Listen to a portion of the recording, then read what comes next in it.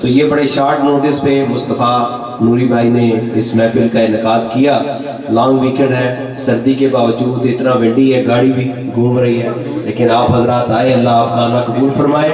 اور ہمارے درمیان عالم اسلام کی عظیم علمی اور روحانی شخصیت مفتی اعظم پاکستان، حضرت علامہ مولانا پروفیسر مفتی مریب الرحمان صاحب تشریف فرما ہے تو الحمدللہ، ہمیں اس بات پہ فخر ہے کہ ہمارے درمیان ایسی علمی اور روحانی شخصیات موجود ہیں۔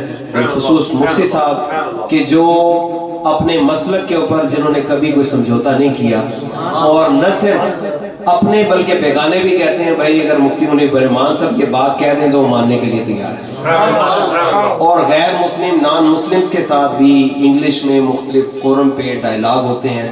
اس پر بھی آپ نے ہمیشہ جو اپنا عقیدہ ہے، اپنا مسلک ہے، اس کا برملا اظہار کیا۔ ہماری مائیں بہنیں، عورتیں بھی بیٹھی ہیں۔ تو میں بغیر کسی تاخیر کے ہمارے جو میرے کارواں ہیں، ہمارے معزز مہمان جو پاکستان سے تشریف لائے ہیں، آپ سب حضرات نعرہ لگائیں اور محبت کے ساتھ، ذوق کے ساتھ جو ہے حضرت کا خطاب ہم سنیں گے۔ نعرہ تکبیر، نعرہ رسالت نعرہ رسالت نعرہ رسالت، علامہ مفتی منیب الرحمان صاحب۔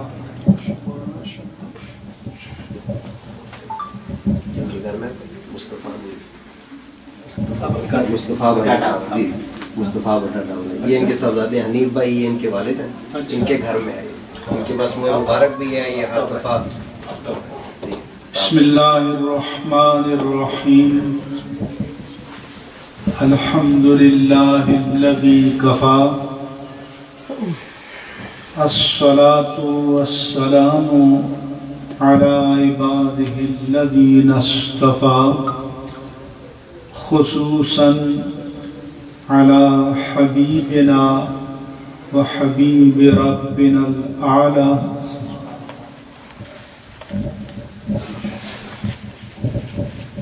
سيدنا ومولانا ومأوانا وملجانا محمد المصطفى. إمام الرسل والأنبياء. وعلى آله أهل التقى والنقى وعلى أصحابه أهل الصدق والصفاء وعلى كل من تبعهم بإحسان إلى يوم الجزاء. أما بعد، حضرت علامہ مولانا مقصود احمد قادری صاحب زیدہ مجدہ اور میزمان محفل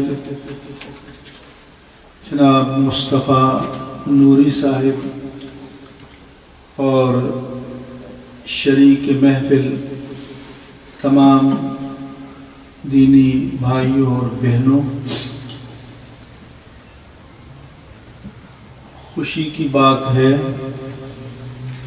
کہ آپ حضرات یہاں رہتے ہوئے اپنے دین کے ساتھ تعلق کو جوڑے ہوئے ہیں؟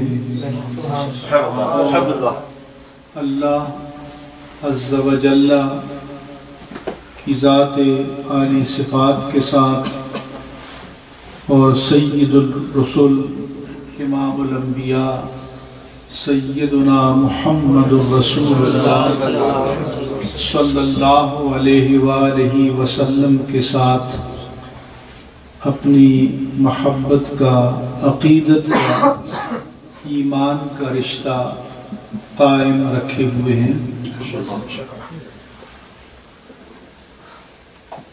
جیسا کہ ابھی علامہ صاحب نے بتایا کہ محبت کے ساتھ اطاعت بھی ضروری ہے۔ ہم نے صرف محبت کے دعوے کو تو اپنا رکھا ہے، لیکن ہر دعوت دلیل چاہتا ہے۔ دنیا کی کسی عدالت میں مجرد دعویٰ قبول نہیں ہوتا جب تک کہ آپ کے پاس دلیل نہ ہو۔ تو دعوی محبت بجا صحیح، لیکن اطاعت مصطفیٰ کی شکل میں کوئی دلیل بھی آپ کے پاس ہونی چاہیے۔ تو اہل سنت و جماعت نے محبت کے دعوے کو تو اپنا رکھا ہے، لیکن عمل سے دوری اختیار کیے ہوئے ہیں۔ یہی وجہ ہے کہ ہماری مسجدیں اس طرح سے آباد نہیں ہیں۔ اور ابھی ایک مجلس سے میں آیا ہوں تو صاحب نے بتایا، کچھ ریلی کا پروگرام بنا رہے تھے کہ ایک مسجد میں آج میں نے نماز پڑھی جمعے کی، بقول کے۔ اور وہاں احتجاجی مظاہرے کا اعلان ہوا۔ ناموں سے مصطفیٰ صلی اللہ علیہ وآلہ وسلم کے لیے۔ تو اس نے بتایا کہ مسجد تو کھچا کھچ بری ہوئی تھی، لیکن جب بینر لے کر کھڑے ہوئے تو بمشکل گھیر گار کر دس آدمی دستیاب ہو سکے۔ حالانکہ صرف ایک پرامن احتجاج کرنا تھا، تو اسی لیے شاعر نے کہا کہ جمی گویم مسلمانم بلرزم، کہ دانم مشکلات لا الہ۔ کہ جب میں یہ کہتا ہوں کہ میں مسلمان ہوں، تو لرز جاتا ہوں، کانپ اٹھتا ہوں کہ مجھے معلوم ہے کہ لا الہ کہنے کی مشکلات کیا ہیں۔ کہ لا الہ کہہ کر میں دنیا کے سارے باطل خداؤں کو رد کر رہا ہوں، ٹھکرا رہا ہوں۔ دنیا سے عداوت مول لے رہا ہوں تو یہ آسان کام ہے۔ لیکن ان کے لیے آسان نہیں ہے جو اس دعوے کو لیٹنڈ اسپرٹ جانتے ہوں کہ جب میں کہہ دیا کہ مسلمان ہوں تو کن کن ذمہ داریوں کو میں نے قبول کیا اور اون کیا۔ اور اگر صرف لفظی محبت تو ہم سے بڑھ کر تو اس کائنات میں کوئی محب رسول نہیں ہے۔ ایک بات تو میں یہ عرض کرنا چاہتا ہوں۔ دوسری یہ ہے کہ ہمارے ہاں یہ شعار بن گیا ہے، مزاج ہمارا بن گیا ہے۔ کہ جب تک مدینے اور جنت کا تقابل نہ کریں، ہمیں چین نہیں آتا۔ جیسے میرے عزیز کہہ رہے تھے کہ مدینے میں تو جنت ہے، جنت میں مدینہ نہیں ہے۔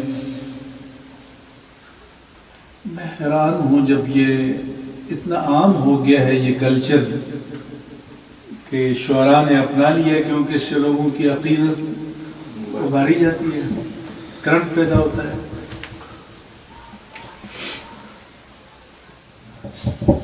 کیا جنت اتنی بے توقیر سی چیز ہے؟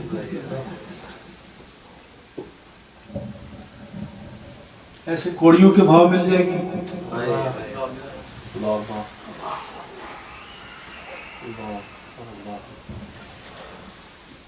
اللہ عز و جل تو فرماتا ہے کہ ان اللہ اشترا من المؤمنین انفسهم واموالهم بان لهم بان لهم الجنہ کہ اللہ نے مومنوں سے ان کی جانوں اور مالوں کو خرید لیا ہے۔ اللہ نے مومنوں سے ان کی جانوں اور مالوں کو اور بدلے میں کیا ہے؟ جنت۔ آپ کو چاہیے؟ اور یہ آپ کا حوصلہ اور ہمت۔ کہ اللہ فرماتا ہے کہ میں نے مومنوں سے ان کی جانوں اور مالوں کو خرید لیا ہے اور بدلے میں کیا دوں گا؟ جنت۔ سودا ہو گیا۔ سودے میں آپ کو پتہ ہوتا ہے کہ ایک سیلر ہوتا ہے، ایک بائر ہوتا ہے، ایک سولڈ آئٹم ہوتا ہے۔ تو اللہ فرماتا ہے کہ میں بائر ہوں، تم سیلر ہو۔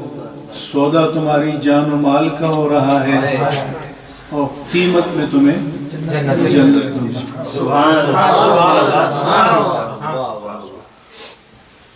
تو قیمت میں جنت دوں گا رب فرماتا ہے جان اور مال کے بدلے میں۔ یہ اس کی مہربانی ہے۔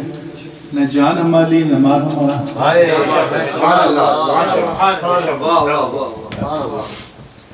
جان کس کی ہے؟ مال کس کا ہے؟ ہم اس جان کے مالک اگر مالک ہوتے تو خودکشی کرنا حرام اپنی پراپرٹی میں جو مرضی کرو کوئی آگ لگا دے لیکن یہ پراپرٹی اللہ کی ہے۔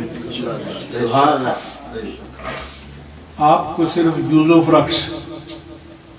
اس کے تصرف کی اجازت دی ہے، ملکیت نہیں دی۔ نہ مال آپ کا اپنا ہے۔ مال بھی کس کا ہے؟ اللہ کا۔ تو یہ اس کی کریمی ہے کہ خود عطا کرتا ہے۔ اور فرماتا ہے میرے ہاتھ بھیج دو۔ وہ ویسے چھین لے تو کیا بگاڑ سکتے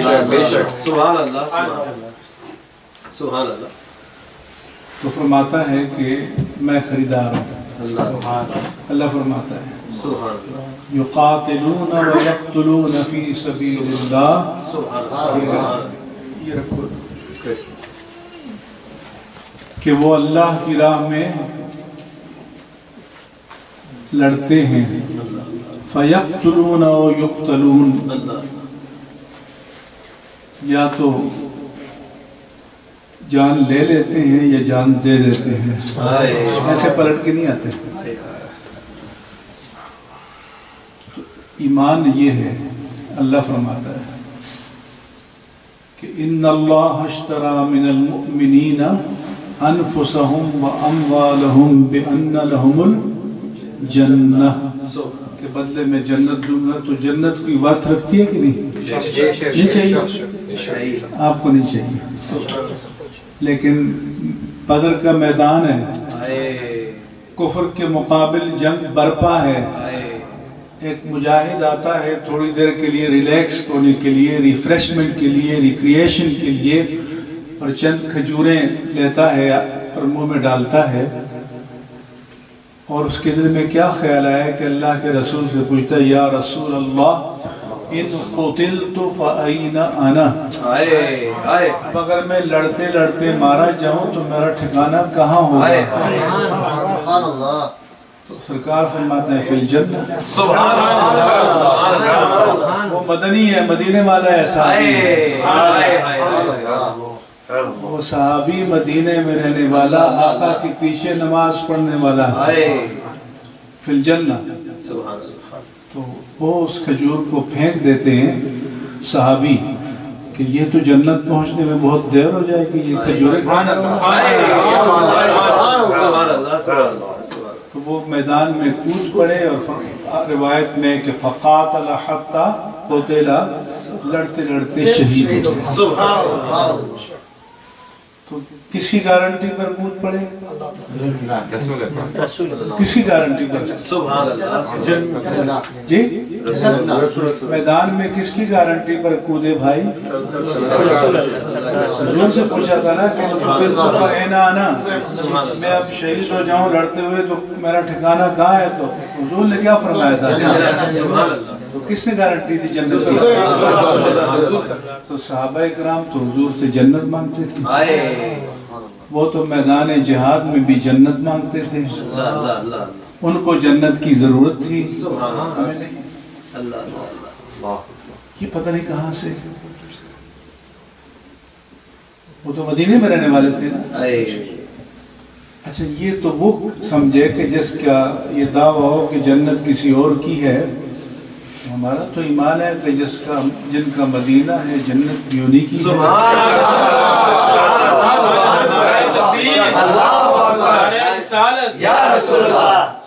سبحان اللہ. اور جنت کے الاٹمنٹ آرڈر کوئی اور جاری نہیں کرے گا ہائے سبحان اللہ سبحان اللہ. اللہ. واہ واہ. خیر اللہ اس لیے مہربانی کرو. سبحان اللہ. یہ اہل سنت میں بے عملی پیدا کرنے کے لیے چیزیں شروع کی ہیں. میں پنجاب میں ایک جگہ گیا. پیر صاحبان بھی تھے. تو ناتخواں کھڑا ہوا. اس نے کہا سجدے کی کمائی ایک طرف تیبہ کی گدائی ایک طرف۔ تو لوگ اٹھے نوٹ لے کے نوٹ پھینکنے لگے۔ پیر صاحبان نے بھی نوٹ نکالے۔ سجدے کی کمائی ایک طرف تیبہ کی گدائی ایک طرف۔ تو پیغام کیا تھا کہ سجدے کی کمائی کچھ بھی نہیں ہے؟ اور مجھے میں بیٹھا تو کان میں ایک صاحب کہنے لگے کہ یہاں تبلیغی جماعت کا بڑا زور ہو کے اس پر بھی بات کریں۔ تو میں نے کہا ہوگا کیونکہ آپ کی سٹیج سے تو پیغام جا رہا ہے کہ سجدے کی کمائی کچھ بھی نہیں ہے۔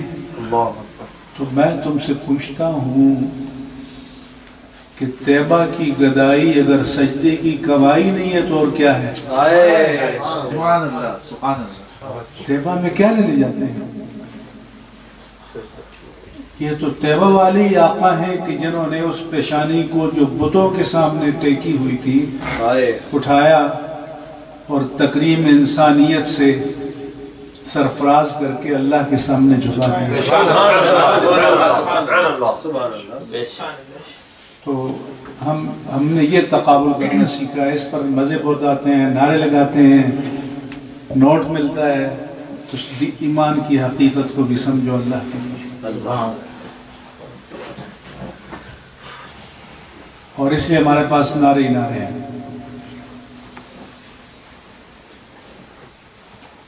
اپنے ملک میں آپ جائیں تو سسٹم میں کہیں کھڑے ہی نہیں آپ۔ حالانکہ اس نیلی چھت کے نیچے آپ سے بڑھ کر کسی نے نعرے لگائے ہوں گے؟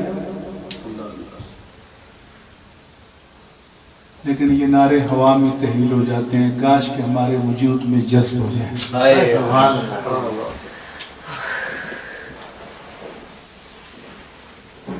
تو جن کا تیبہ ہے انہی کی جنت ہے۔ اور میں کہ اول انا اول الناس خروجا اذا بوئسو کہ جب حشر میں قبروں سے لوگ نکلیں گے تو میرے آقا نے فرمایا کہ سب سے پہلے میں نکلوں گا۔ سبحان اللہ اور آپ نے فرمایا کہ انا اول من یقرأ باب الجنہ۔ سبحان اللہ کہ جنت کے دروازے کو آدم علیہ السلام سے لے کر عیسیٰ علیہ السلام تک سارے انبیاء کرام اور رسول اعظام موجود ہوں گے۔ لیکن I will be the first who will knock the door of جنہ سبحان اللہ سبحان اللہ۔ مجھ سے پہلے کوئی جنت کے دروازے کو نوک بھی نہیں کر سکے گا۔ سبحان اللہ۔ انا اول من یفتح له باب الجنہ سبحان اللہ۔ And I will be the first person the door of Jannah will be opened for him. سبحان اللہ۔ تو حضور تو جنت میں نہیں ہوں گے کیا؟ کہ جنت میں مدینہ نہیں ہے جنت میں حضور نہیں ہوں گے سبحان اللہ مدینہ کس کا ہے؟ جنت کس کی ہے؟ سبحان اللہ یہ سارا قرآن آپ پڑھیں تو جنت کے فضائل جنت کی شانیں جنت کی ترغیبات بیان ہو رہی ہیں۔ تو ہم واہ واہ کے لیے پورا کنسیپٹ تو چینج نہ کریں نا۔ تو ایک تو میری آپ حضرات سے یہ گزارش ہے۔ دوسرا یہ ہے کہ لوگوں میں اطاعت کا شعور بھی پیدا کرو۔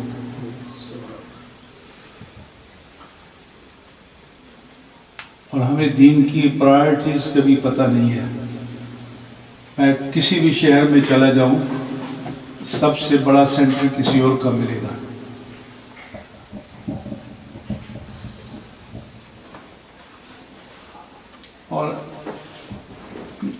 دوسروں کو تو چھوڑیے خود مل کر ایک ساتھ عید نہیں کر سکتے۔ اور کیا کریں گے؟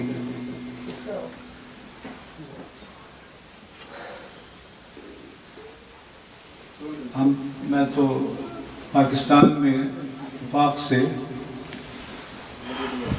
central moon sighting committee Pakistan کے چیئرمین ہوں تو ہم سب کو ایک ساتھ ہمارے ساتھ ہمارا واسطہ تو پڑتا ہے نا کہ تمام مسالک کے لوگ ہیں۔ دیوبندی بھی ہیں، اہل حدیث بھی ہیں، اہل تشیع بھی ہیں، دوسرے بھی ہیں۔ تو ہم سب کو ایک پوائنٹ پر جمع کرتے ہیں، یہاں اپنے جمع نہیں ہوتے۔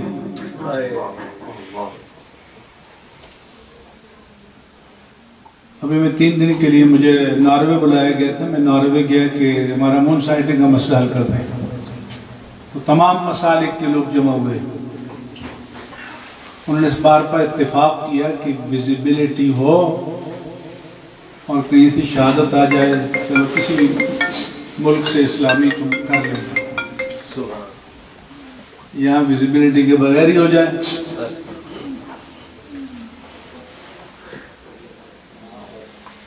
تو ہم تو کسی بس ایک نعرے پہ ہم بیٹھے ہوئے ہیں اپنی اصلاح کے لیے تیار نہیں۔ اپنے اندر کوئی وحدت پیدا کرنے کے لیے تیار نہیں، تو ہم کوئی اجتماعی کام کر سکتے ہیں؟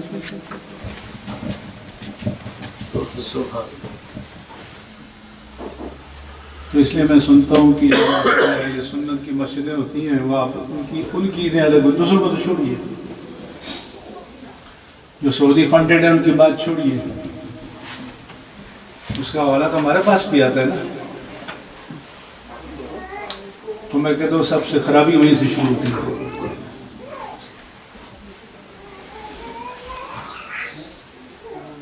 تو اپنی اصلاح کرو، اپنے گھر بار کی اصلاح کرو، اپنے بچوں کی اصلاح کرو۔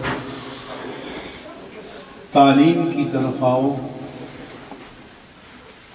اور عمل کی طرف آؤ۔ لاؤ۔ جو پیسہ خرچ کرو تو ہمارے یہاں تو یہ بھی نہیں ہے۔ میں اپنے آپ ہی کہتا ہوں کہ اگر کوئی اسی گز کا، سو گز کا، ڈیڑھ سو گز کا، پانچ مرلے کا پلاٹ لینا ہو، تو سو دکانوں پہ جاتے ہو ایکسپرٹ سے پوچھتے ہو۔ گاڑی لینی ہو تب بھی پوچھتے ہو۔ میں کہتا ہوں کہ کیا جنت کے محل کی قیمت پانچ مرلے کے پلاٹ کے برابر بھی نہیں ہے؟ یہاں سو بندوں سے پوچھو وہاں کسی ایک سے بھی نہ پوچھو ایکسپرٹ سے کہ ہم دین کے نام پر خرچ کریں تو کہاں کریں؟ کیونکہ قدر نہیں ہے۔ ہم یہ جو نعتیں پڑھ سنتے تو چاہیے نہیں نا۔ ہمیں اور سب کچھ یہ کارخانہ تو ہے ہی اس لیے ورنہ ہمارے جد اعلیٰ آدم علیہ السلام تو چلے گئے تھے جنت میں۔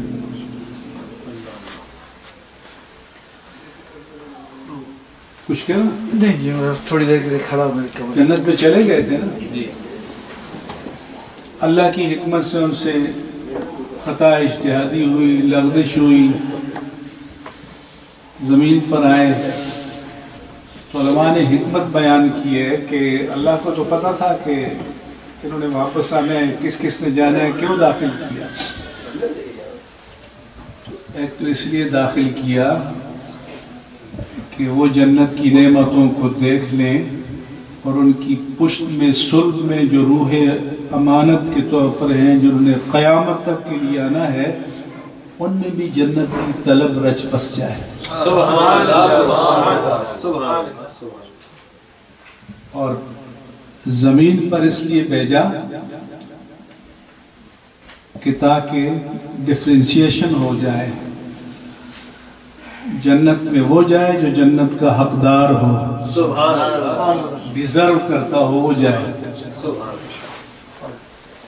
جدا کر دیا، کرنے کے لیے بھیجا گیا کہ وہ روحیں جو جنت کی حقدار نہیں ہیں، وہ دوسری طرف رہ جائیں۔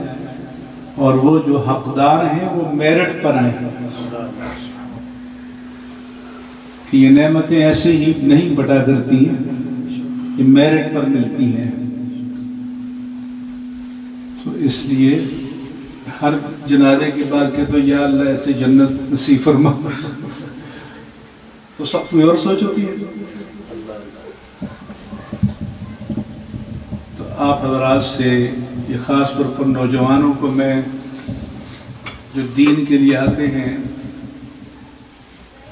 ان کو میں اپریشیٹ کرتا ہوں، تحسین کرتا ہوں۔ اپنے نوجوانوں کو بچاؤ، کیونکہ یہاں تو چاروں طرف آگ جل رہی ہے، جیسے یہ سمجھو کہ جہنم کی شعلے ہیں چاروں طرف۔ شیطان کی ترغیبات ہیں، شیطان کے جال ہیں۔ ان جہنم کی شعلوں سے اور شیطان کے جالوں سے جو بچ کر آئے، دین کی طرف آئے، مسجد میں آئے، تو اللہ عز و جلہ کے رسول مکرم صلی اللہ علیہ وسلم نے فرمایا کہ سبعت یذلہم اللہ یوم القیامہ، یوم لا ذل الا ذلہ، کہ قیامت کے دن اللہ عز و جلہ جبکہ اس کے سائے رحمت کے سوا کوئی جائے پناہ نہیں ہوگی، تو سات کیٹیگریز کے حضرات اس کی رحمت کے سائے میں ہوں گے۔ اس میں سے ایک آپ نے فرمایا کہ شابن نشا فی عبادت اللہ عز و جل۔ وہ نوجوان کہ جس نے شباب کے جوانی کے آغاز میں اپنی زندگی کو اور عین عالم شباب میں اپنی زندگی کو اللہ کی عبادت میں گزارا۔ تو اس لیے یہ بابے جو میرے دائمان بیٹھے ہم لوگ ہیں ہمارے سجدوں کی وہ قیمت نہیں ہے۔ جو اللہ کے جوانوں کی سجدوں کی ہے۔ نعرہ تکبیر۔ نعرہ رسالت۔ نعرہ حیدری۔ نعرہ غوث۔ کو انکرج کرو۔ ان کی حوصلہ افزائی کرو۔ ان کو موٹیویٹ کرو۔ عمر ڈلتے کے ساتھ ساتھ جو ہے قوتیں بھی مان پڑ جاتی ہیں۔ جوانی میں ساری قوتیں شباب پر ہوتی ہیں۔ شیطان کی ہر ترتیب اٹریکٹ کرتی ہے تو وہ اگر شیطان کی دعوت کو رد کر کے رحمان کی دعوت سلام کرو اس کے گلے میں ہار ڈالو اپنی اولاد کی اصلاح کرو مائیں بھی اپنے بچوں کی اصلاح کریں لیکن کون سی مائیں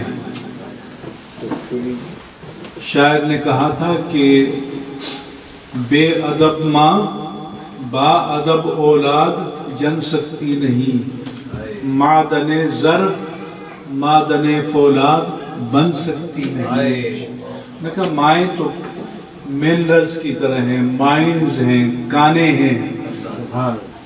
تو کوئی گولڈ مائن ہے، کوئی کول مائن ہے، تو کول مائن سے گولڈ نکلتا ہے۔ تو ماؤں کو سونے جیسے اولاد پیدا کرنے کے لیے سونے کی کان بننا ہوگا اور ادب کی شان بننا ہوگا۔ دین کی خادمہ بننا ہوگا۔ قدم قدم پر، سانس سانس پر اللہ کو یاد کرنا ہوگا۔ تو تب اولاد بچے گی۔ اور اگر یہ نہیں کرو گے، تو پھر یہ یہ مکانات، یہ گاڑیاں، یہ ایئر کنڈیشن یہ یہ رہ جائے گا نا؟ تو اس سے بڑا تو ادھر آخرت میں اللہ نے بنایا ہے۔ تو یہ راحتیں، نعمتیں مبارک ہوں، مگر دین کی قیمت پر تو نہیں ہونی چاہیے۔ اس لیے نوجوانوں کے لیے میں سارے علماء سے کہتا ہوں کہ نوجوانوں کو موٹیویٹ کرو، نوجوانوں کو لاؤ۔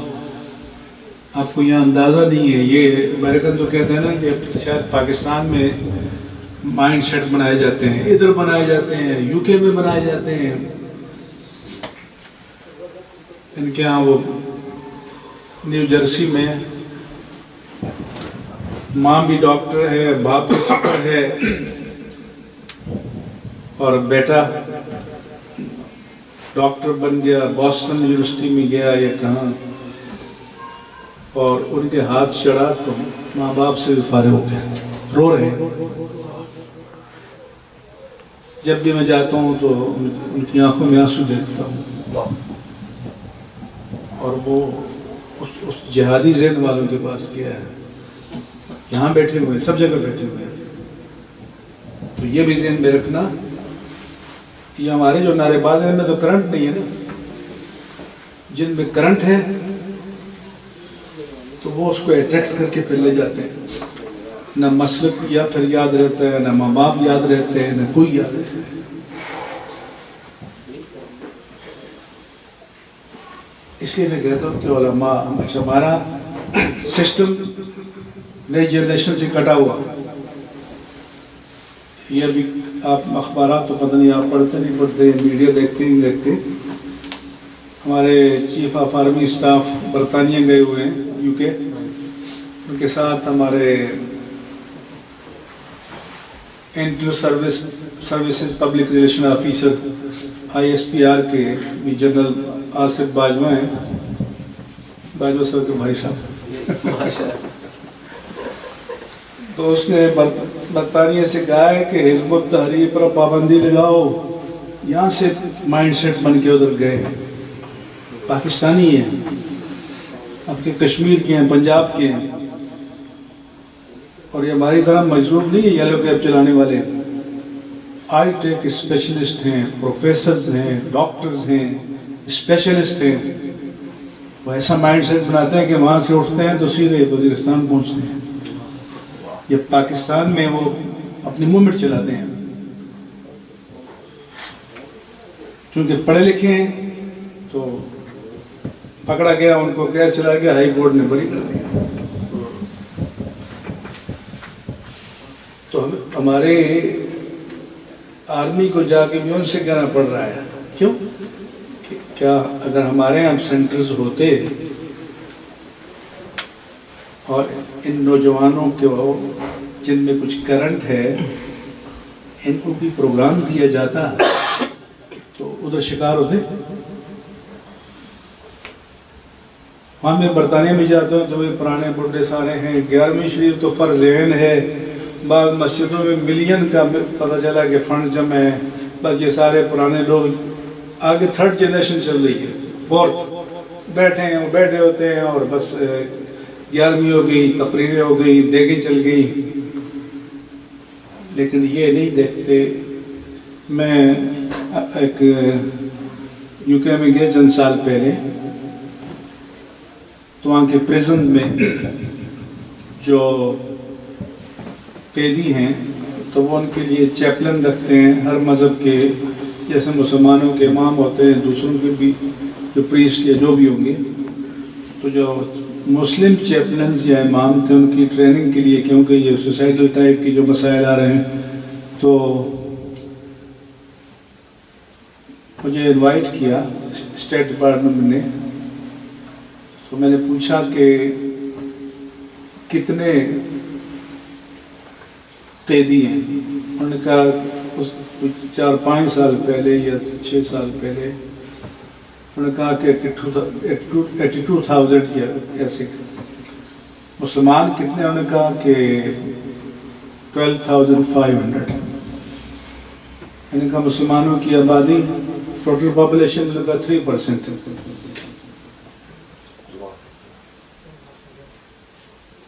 اور جیل میں ففٹین پرسینٹ کیا آقا کے غلاموں کو مجرم اور کریمنل ہونا چاہیے؟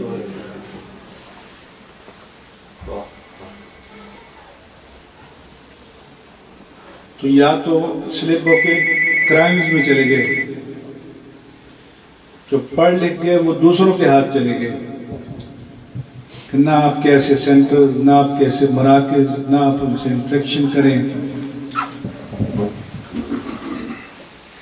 تو جو ذمہ داریاں ہیں، وہ بنیادی کرنے کے یہ کام ہے کہ ہمارے جو لوگ جو شعور رکھتے ہیں، انہیں، اور یہ جو میں نے آرٹیکل بھی لکھا تھا، لکھتا ہوں اخبار میں، کہ نیچے کی ایندھن ہمارا لوگ ہوتے ہیں اوپر بائنڈ سیٹ بنا تیار کرنے لیے عرب ہوتے ہیں۔ ایسی ایکسپرٹیز ہے ان کو پوچھئے نا یہ جو ریاض کہ قدوسی تھی جو بیوی روتی تھی۔ چار چار آنسو۔ اور یہ نہیں کہ بیٹا شرابی ہو گیا بدماش ہو گیا کریمنل ہو گیا یہ نہیں۔ تو جب تک آپ سائنٹیفک اپروچ دین کی نہیں دیں گے پڑھے لکھے نوجوانوں کو، اسی پرانی فضا میں رہیں گے تو آپ لوز کریں گے۔ سونر آر لیٹر اس لیے ضرورت صبر کی ہے کہ ہمارے جو لوگ ہیں وہ شعور کی طرف آئیں۔ پھر اپنے بچوں کو مسجد سے جوڑ کے رکھو۔ حضور نے فرمایا کہ جن پر خصوصی سایہ ہوگا، رجل قلبه معلق بالمساجد، کہ وہ جس کا دل مسجد سے جڑا رہے۔ ہم ان مجالس سے جو جڑے رہتے ہیں، مسجد سے جڑے نہیں رہتے۔ یہ سارے لوگ جو مجلسوں میں ملتے ہیں، مسجد میں ملتے ہیں آپ لوگوں؟ کو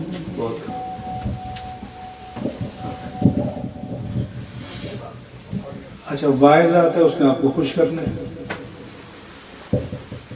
آپ خوش ہو جائیں گے تو آپ نواز دیں گے۔ میں کہتا ہوں آپ بس کرو۔ ہم مخلوق کی رضا چھوڑو، اللہ کی رضا کی بات کرو۔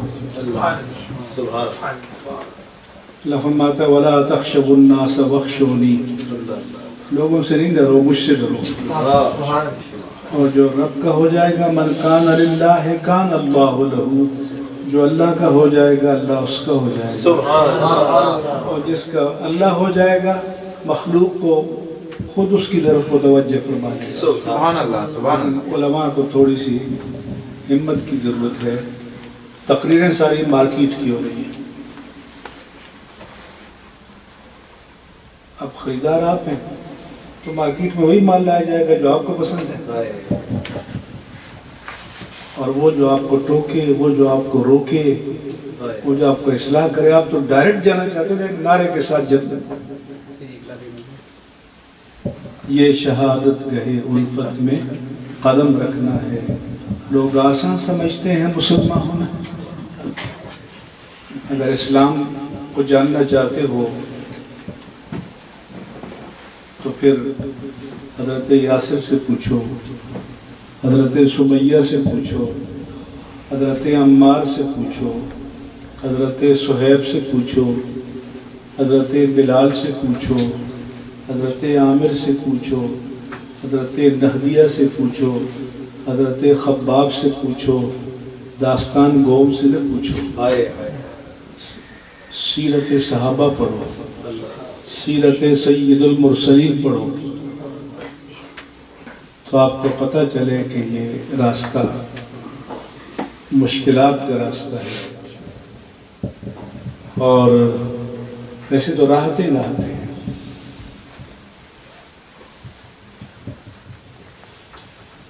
رسول اللہ صلی اللہ علیہ وسلم سے پوچھا گیا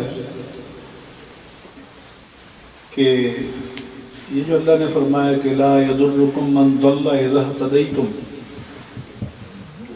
اگر تم خود ٹھیک ہو تو کوئی بھٹکتا ہے تو بھٹکنے دو بڑا غرق ہونے دو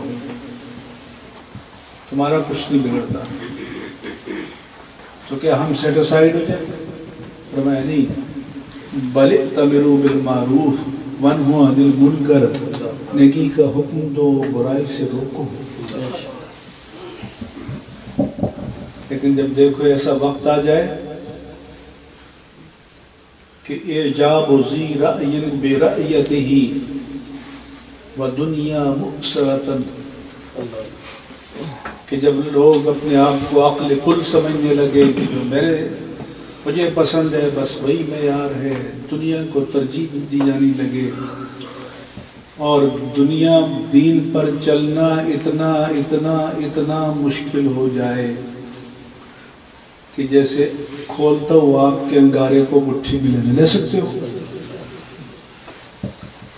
تو فرمایا کہ جب مشکلات اس حد تک پہنچ جائیں تو پھر اس وقت جو دین پر چلے گا تو حضور نے فرمایا کہ فَلَهُ أَجْرُ خَمْسِينَ رَجُلًا۔ اسے پچاس آدمیوں کے برابر اجر ملے گا۔ سبحان اللہ صحابہ نے کی یا رسول اللہ خمسین منہم۔